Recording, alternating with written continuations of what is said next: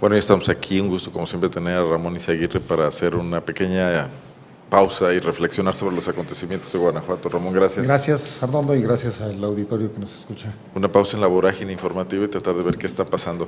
Te propongo dos temas. Bueno, uno sería el proceso de elección de rector en la Universidad de Guanajuato, que entró ya en su etapa final, digamos, con ya comparecencias ante los, la comunidad universitaria. Ante la comunidad universitaria, exacto. Eh, los registros y los, los, filtros estos que existen ya funcionando y pues queda muy, muy, corto el lapso para que sepamos quién va a ser el nuevo rector. Sí, a más tardar el 27 de septiembre se tendrá que conocer, ¿no? Tendrá que tomar posesión ya el nuevo rector más bien. Y el otro tema, lo que está pasando en el PRI con ahora estas noticias sobre un fraude a personas en estado de precariedad, eh, habitantes de zonas rurales a los que se les esquilmaron literalmente 3 mil pesos por familia prometiéndoles una casa de 48 mil pesos y nada más. Se llevaron los 3 mil pesos y no hay ninguna otra respuesta. Confabulados, hasta donde sabemos, bueno, quienes son hoy dirigentes en el PRI, diputados electos, por cierto, tres diputados electos del PRI, los números uno, dos y tres de la lista, y aparentemente una institución federal, la CONAVIM, la Comisión Nacional de Vivienda. Si quieres lo dejamos en segundo término, pero primero que nada, pues tú eres universitario, eres catedrático, eres parte de la comunidad. ¿Cómo estás observando este proceso?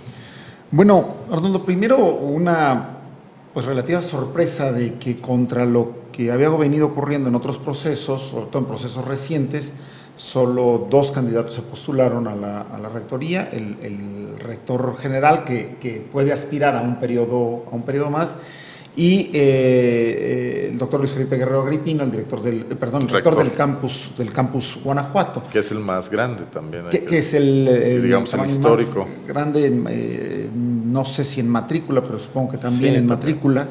Y quien ya había aspirado a la rectoría, a la rectoría general. La especulación general suponía que varios académicos, yo creo que la universidad tiene académicos de una gran calidad, como para aspirar a un cargo de este, de, este tamaño y al final de cuentas solo dos, solo dos candidaturas. Ah, el, proceso es muy curioso porque si bien hay eh, eh, una parte del proceso es esta que está ocurriendo ahorita de dar a conocer los proyectos de cada uno de los, de los aspirantes a la Rectoría General, también lo cierto es que al final del día acaban resolviendo 11 eh, una junta, una junta directiva formada por... Es un modelo como híbrido, ¿verdad? Un modelo, pues creo que más inspirado en el de la UNAM que, que, otra cosa.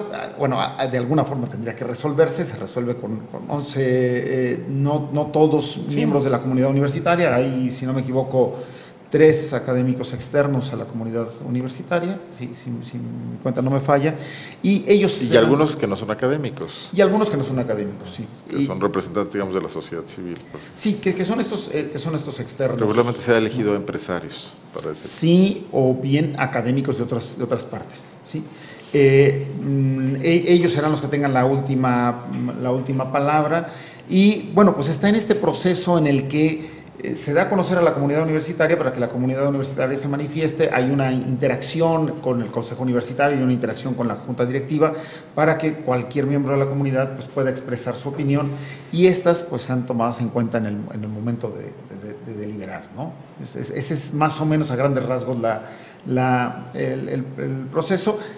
Tal vez un antecedente que es muy importante, Arnoldo, que es eh, el viernes pasado, el Consejo Universitario avaló las dos candidaturas y algo que ha llamado mucho la atención y que ha generado polémica incluso al interior de la universidad y en redes sociales, eh, especialmente en Facebook y en Twitter, el, hecho de que se haya dicho que el rector general actual, el doctor José Manuel Cabrera Sixto, no cumplió con toda la documentación que luego la fue a presentar eh, posteriormente y que eh, el órgano correspondiente le dijo que era, que era extemporáneo. Esto ha llamado mucho la atención y también hay que decirlo, ha generado cierta molestia. Y provocó que, que, no pasara de forma unánime, sino en una votación. Sí, porque eh, algo que se ha comentado mucho en la comunidad universitaria es que en los diferentes requisitos que se plantean a alumnos o, o incluso académicos, cuando los académicos son valorados para, los estímulos correspondientes, eh, bueno, pues no Tienes que entregar todos tus papeles. Y, nada se supone, ¿no? Todo tiene que ser acreditado, entonces ¿por qué ahora, en este caso, se daba por acreditado a partir de una mera suposición? Claro, sí, un descuido ahí de José Manuel Cabrera y su equipo. Ahora, viendo la, perspectiva eh, amplia, yo observo que los procesos de elección de rector, desde que la Universidad es autónoma hasta acá, no han cumplido a cabalidad el reto de fortalecer la autonomía universitaria. Los hemos visto politizados en uno u otro sentido. Eh, por ejemplo, yo creo que fue muy dañino para la Universidad de Guanajuato que su primer rector autónomo inmediatamente después de ser rector fuese gobernador del estado, porque conociendo que es Juan Carlos Romero Hicks, conociendo tan de cerca los mecanismos universitarios, fue alguien que intervino de manera decisiva, eh, no formal, no oficialmente, pero sí a tras mano para dejar a los rectores que quiso, quitar a los que quiso, que es el caso de Cuauhtémoc Ojeda, de Arturo Lara, ¿no? Y una vez que Juan Carlos deja de ser rector, que ocurre en 2000, eh, perdón, gobernador, en 2006, hemos visto que los procesos de elección de rector están muy gobernados por quien de momento ejerce la rectoría, o sea, Arturo Lara se religió tranquilamente, Arturo Lara propició la llegada de José Manuel Cabrera en el pasado, eh, en la pasada cita para elegir un rector.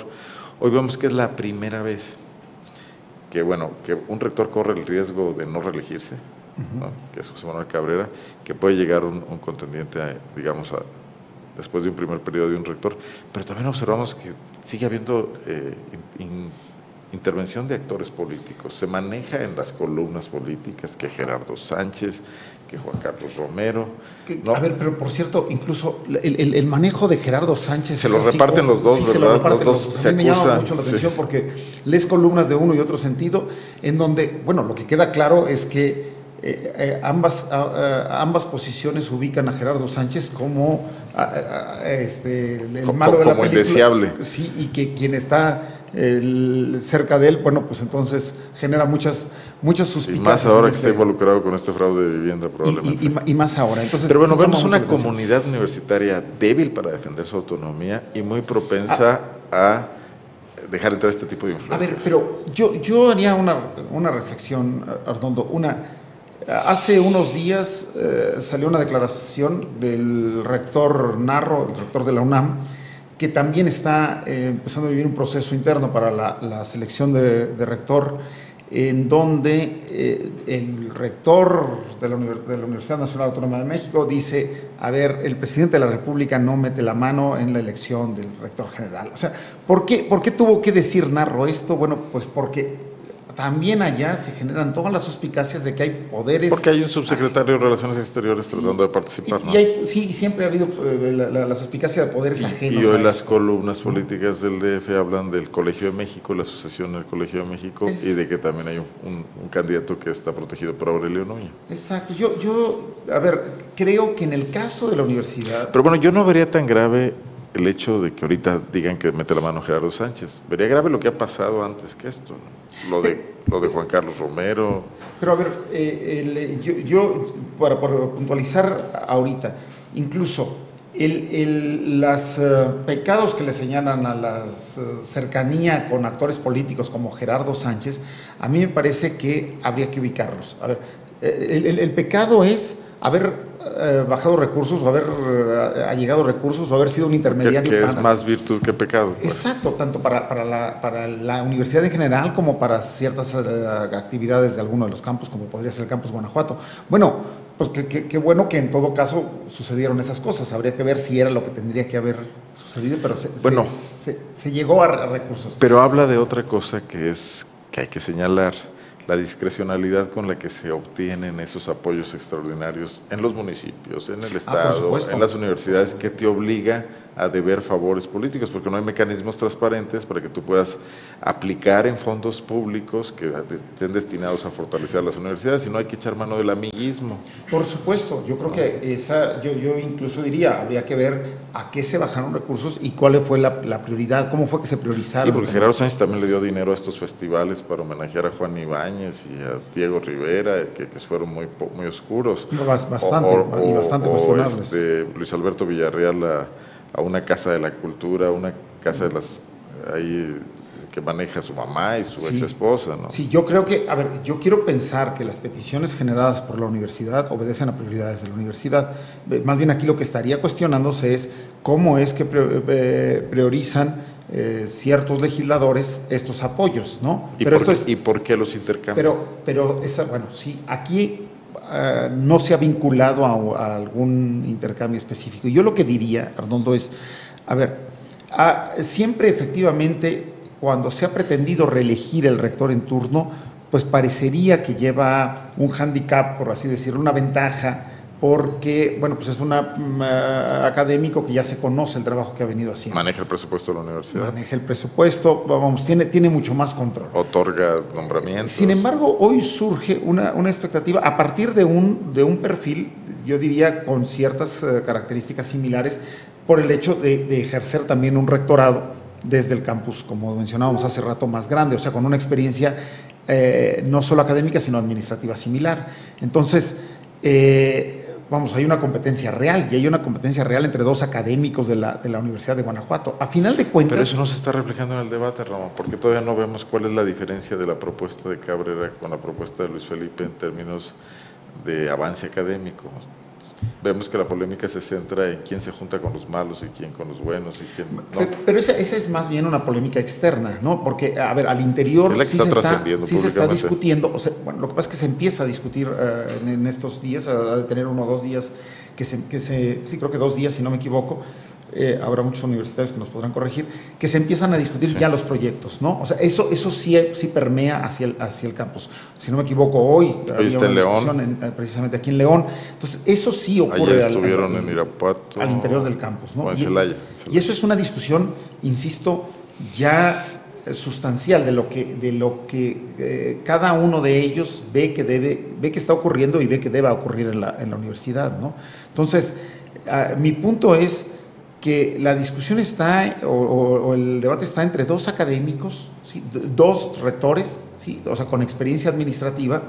Eh, no, yo no veo a un externo llegando con el beneplácito de algún actor político importante, llámese un, eh, un diputado, un senador, un gobernador eh, o alguien del gabinete federal no, o sea, son dos académicos formados en la Universidad de Guanajuato los que están aspirando a la, Universidad de Guanajuato. En ese sentido lo verías positivo. Sí, sí, por supuesto. Muy bien, y ojalá sea un debate de altura. Ojalá, sí, ojalá cada vez más, y yo creo que el, debate de altura, yo creo que tiene que darse no solo en los candidatos, sino en los grupos que están apoyando a los candidatos. se ven páginas de Facebook muy, desmejoradas. Y muy agresivas incluso. Yo creo que... Eh, con un nivel de debate muy bajo. Exacto, yo creo que si algo debe caracterizar a la universidad es un cada vez más alto nivel de debate. En ese sentido es donde yo veo un fracaso de la autonomía como un mecanismo para elevar la calidad del, debate en la universidad. Bueno, puede ser, yo creo que falta mucho trabajo eh, interno en la universidad. cuando se controló políticamente por un actor, tipo el gobernador Romero o tipo los rectores en funciones, no se alcanzaron estos niveles de agresión. Hoy que, hoy que está esta competencia real de la que tú hablas, se está discutiendo a niveles muy bajos. Sería bueno que la competencia real se manifestara de otra manera. Y, yo creo Porque que es una universidad. Si a alguien no conviene la polarización entre, eh, entre los candidatos a estos extremos es a la propia universidad.